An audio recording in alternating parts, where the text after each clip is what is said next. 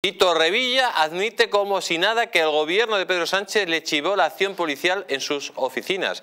Descaro absoluto. En medio del escándalo de corrupción que salpica a su gobierno, el presidente de Cantabria, Miguel Ángel Revilla, reconoció sin sonrojarse ni un poco que había sido advertido por el gobierno de Pedro Sánchez de que la Policía Nacional y la Agencia Tributaria iba a realizar una actuación para registrar y detener a los presuntos implicados antes de que ocurriera.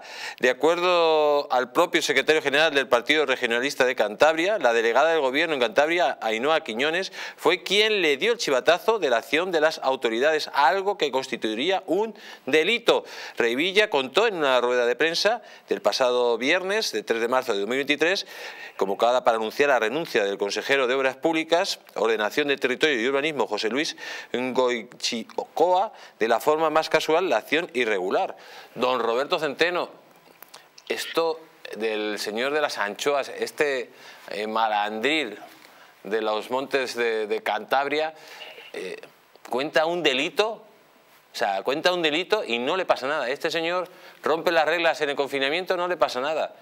Eh, ¿Qué es lo que pasa en este país? Y encima es el hombre considerado más simpático de España y va todos los días al, hormiguero, a lo otro, a lo otro. ¿Qué es lo que pasa? ¿Por qué este señor Revilla, que tenía que estar fuera de la política hace 10 años, sigue siendo el amo de una región, gracias lógicamente al PSOE, y por supuesto un señor que eh, acaba de confesar un auténtico delito, ¿no? Bueno, la verdad es que estando don Fernando ahí, eh, el que usted me haga esta pregunta a mí mm, y yo se la conteste, porque se la voy a contestar, mm, no deja de ser una osadía por mi parte. Así que, salvo el superiorísimo eh, criterio de don Fernando, yo le voy a decir... Usted explique el lado político. El lado político. Bueno, primero... Y Fernando el jurídico. este personaje es un golfo que no hay por dónde cogerlo. ¿eh? Verdaderamente los santanderinos no entiendo cómo a este mangante lo tienen ahí. Bien es verdad, bien es verdad que como consecuencia de su sumisión eh, al imperio del mal, ¿eh? pues ha recibido pues unos dineros y unas cosas y tal y cual. ¿eh? Pero verdaderamente a los santanderinos debería darle vergüenza tener a este presidente. Eh, pero bueno, también a los, a los barceloneses les debería dar más vergüenza todavía tener la alcaldesa que tienen. Pero mm, vamos a ver, si la, propia delegada del gobierno, que además es obvio que tenía que ser ella, ha filtrado eh, ha filtrado el que eh, eh, bueno, unas, esta que la policía iba a investigar o iba a registrar, etcétera, esta señora mm, es culpable de revelación de secretos y obstrucción a la justicia. Y el Ministerio Fiscal, si no fuera que este es un país sin ley, ¿eh? y por eso precisamente mm, Rafael del Pino ha tenido el buen criterio de marcharse a, de marcharse mm, a, Holanda, que por cierto quiero decir aquí que le han chantajeado, ¿eh? otro día diré de qué manera, para que diga que no se ha ido porque no haya aquí, eh, digamos, no se respete la ley. ¿eh? Se lo han obligado a decir porque tenían en la mano un. Bueno, tenían en la mano. Unas. Unas. Eh, el, demorar, el demorar unos meses.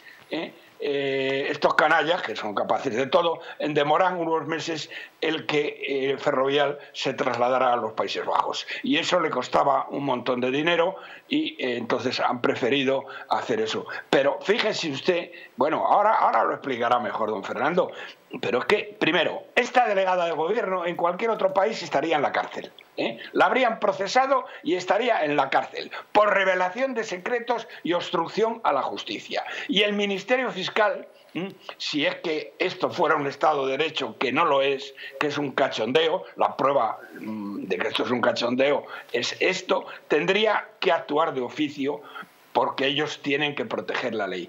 Pero fíjese usted, y con esto termino, fíjense ustedes, queridos amigos, esto que eh, este, este miserable, este golfo eh, del presidente de Cantabria, eh, es que le da igual, es que sabe, porque por muy tonto que sea, eh, bueno, tonto no es, o sea, porque se está llevando el dinero, bueno, por, para Cantabria, vamos, vamos a suponer, vamos a suponer que sea para Cantabria, de una manera indigna, ¿eh? Eh, haciendo la política que quiere el imperio del mal.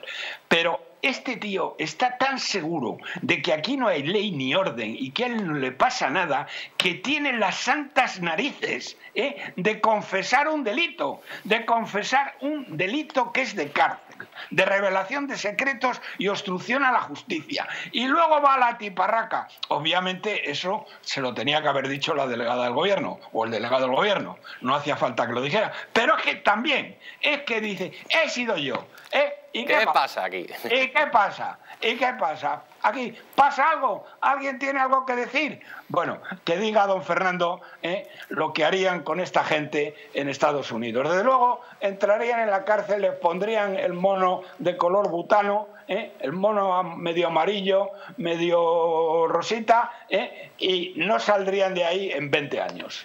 Pues don Roberto Centeno, muchísimas gracias por haber estado en el Mundo al Rojo y como siempre, eh, reciba un fuerte abrazo y como se ha portado usted bien hoy, pues ya hablaré yo con el señor Dalmau. A ver, a ver, a ver, una tarjeta. como se ha portado muy bien, ya hablaré yo con el señor Dalmau. Para los clubes de Kiev y de, y de Odessa, de los que hablaba. Bueno, con eso, con eso hablaré con el señor Vera. Eh, venga. Un fuerte abrazo. Otro. Eh, pues señor Dalmau, todo suyo. Bueno, eh, es evidente que aquí el, es el presidente de Cantabria pues en este momento no sabe ni lo que ha hecho. Yo creo que no sabe ni lo que ha hecho. Y el delegado del gobierno, siguiendo con, muchos delegados del gobierno, tampoco lo sabe. ¿no? Porque es verdad, nos encontramos ante el artículo 197 de nuestro Código Penal, que es obstrucción a la justicia, en el momento que está eh, revelando, en, revelación de secretos, eh, evidentemente operaciones que se encuentran en este momento abiertas tanto por el juzgado como por los cuerpos y fuerzas de seguridad del Estado con el consiguiente riesgo que conlleva todo eso ante la, ante, eh, ante la finalización de estas operaciones y la posible fuga de información y, seguramente la advertencia a los, que se encuentran imputados en este momento. Segundo, evidentemente también estamos ante, ante otro delito de obstrucción a la justicia en nuestro artículo 463-464 de nuestro Código Penal, en el momento que se establecen los impedimentos necesarios para que la justicia no pueda actuar de forma contundente directamente en la consecución de las pruebas. La, obstrucción de la justicia viene dictaminado por el hecho de, esta revelación, con lo cual son eh, delitos que se encuentran en concurso, con lo cual serían catalogados en grado máximo, puesto que esta obstrucción a la justicia, pues evidentemente vendría por la desaparición de pruebas, como antes he dicho, por la revelación de secretos y por el aviso a estas personas eh, de una forma pública, además, eh, que tiene como resultado el hecho de que a lo mejor algunas de las pruebas no puedan ser, no puedan ser conseguidas por nuestros juzgados o directamente por nuestros cuerpos y fuerzas de seguridad del Estado.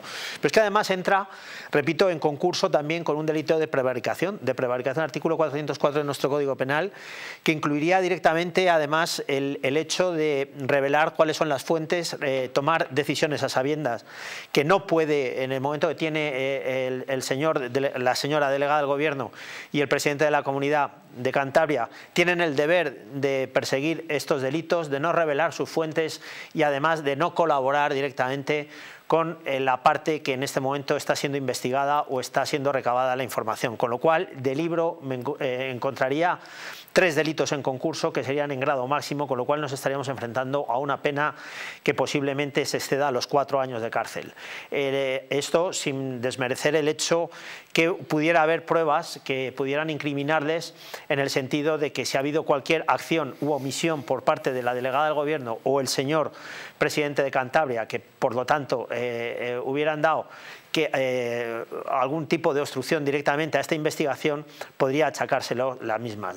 Aquí hay un problema muy grave, que, el presidente de Cantabria forma parte también, además, de las estructuras del Estado, así como la delegada del Gobierno de Cantabria. Con lo cual estos delitos serían prácticamente asumibles directamente a sus personas y se encontrarían en este momento en un grave procedimiento si, tanto y cuanto la Fiscalía instruyera por orden del Gobierno, instruyera eh, estos delitos. Con lo cual entiendo que si la Fiscalía no lo hace, tendría que ser la acusación popular o alguna acusación particular la que instruyera estos delitos, porque evidentemente esto no se puede permitir.